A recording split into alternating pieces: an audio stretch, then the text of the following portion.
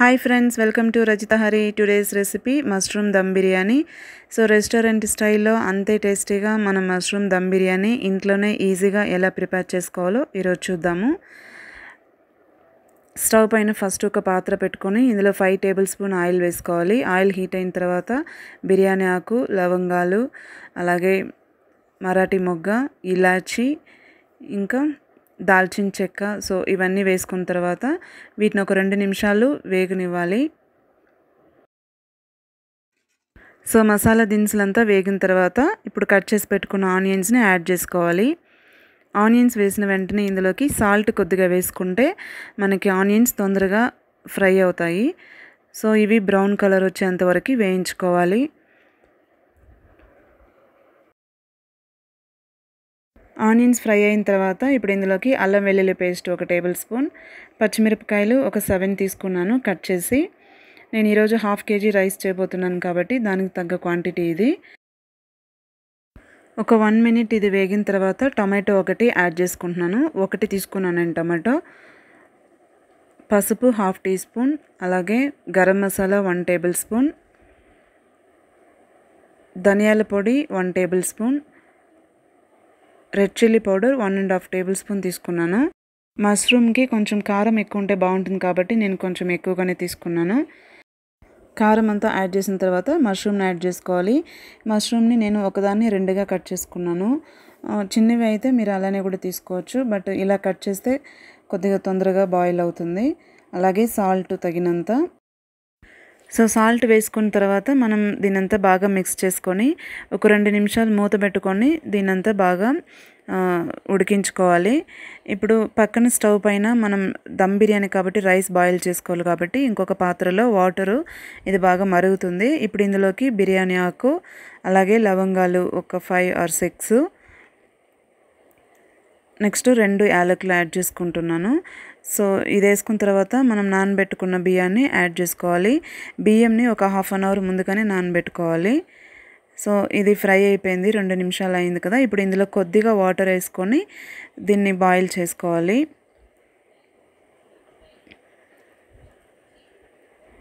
So ఇప్పుడు మనం biryani rice వేసాం కదా. అందులోనే పుదీనా ఆకులు అలాగే కొత్తిమీర. ఇవి రెండు కూడా ఇందులోనే వేసి మనం బాయిల్ చేసుకుంటే రైస్కి మంచి ఫ్లేవర్ అనేది పడుతుంది. నేను పుదీనా ఇవన్నీ మష్రూమ్తో యాడ్ చేయలేదు కాబట్టి ఇలా రైస్లో యాడ్ చేసుకుంటున్నాను.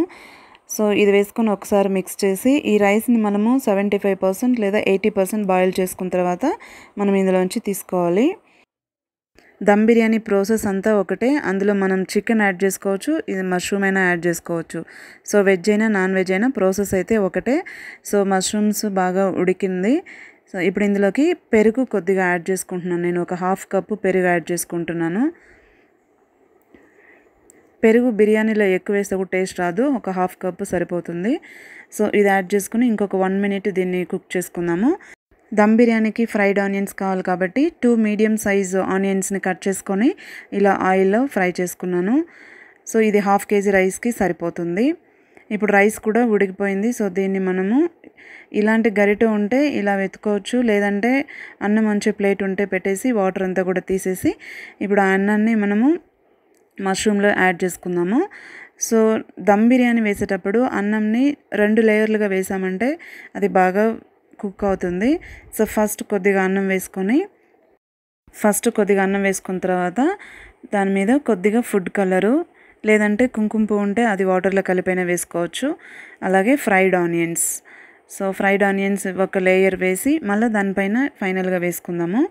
చూడండి అన్నంలో మనము పుదీనా అలాగే కొత్తిమీర ఇంకా బిర్యానీ ఆకు లవంగాలు వేసి బాయిల్ చేయడం వల్ల మనకి ఆ స్మెల్ అనేది బాగా వస్తుంది. సో ఇప్పుడు అన్నం అంతా వేసేసుకున్న తర్వాత చివరిగా ఫ్రైడ్ ఆనియన్స్. దమ్ బిర్యానీకి ఎంత ఆనియన్స్ ఎక్కువ వేస్తే ఫ్రైడ్ ఆనియన్స్ అంత టేస్టీగా ఉంటుంది. సో ఇంకొకసారి చివరిగా ఇంకొక one tablespoon food colour వేసుకుంటున్నాను. ఇది వేసుకున్న తర్వాత కొత్తిమీర.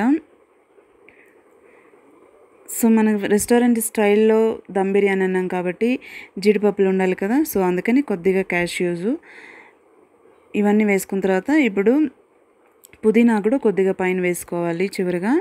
వేసుకున్న తర్వాత నెయ్యి ఒక టూ టేబుల్ స్పూన్ వేసుకుంటున్నాను. నెయ్యి వేసుకున్న తర్వాత దీనిపైన ప్లేట్ పెట్టేసుకొని మనము వెయిట్ పెట్టుకోవాలి. దమ్ బిర్యానీ కాబట్టి మైదా లేదా గోధుమ పిండి చుట్టూ అలా పెడతారు కదా అది లేకపోయినా పర్వాలేదు. మనం వాటర్తో నింపేసి వెయిట్ పెట్టేసినామంటే సరిపోతుంది. సో ట్వంటీ మినిట్స్ తర్వాత tasty mushroom dum biryani ready. Twenty మినిట్స్లో ఫ్లేమ్లో పెట్టుకొని స్టవ్ ఆఫ్ చేసిన ఫైవ్ మినిట్స్ తర్వాత మనం సర్వ్ చేసుకుంటే టేస్టీగా ఉండే మష్రూమ్ దమ్ బిర్యానీ రెడీ. దమ్ బిర్యానీ ఇంట్లో చేయడం ఈజీ అని చెప్పను అలాగే కష్టం అని కూడా చెప్పను. కొంచెం ప్రాసెస్ ఉంటుంది కానీ చేసుకున్న తర్వాత అంత టేస్టీగా ఉండే దమ్ బిర్యానీ మన సొంతం. సో ఫ్రెండ్స్ నేను ఎలా చేశానో అలాగే చేసి చూడండి మంచి టేస్ట్ వస్తుంది. నేను ఎక్కువ మసాలా కూడా ఇందులో వేయట్లేదు.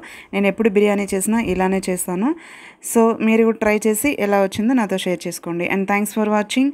And share చేయండి లైక్ చేయండి. అలాగే ఛానల్ సబ్స్క్రైబ్ చేయండి.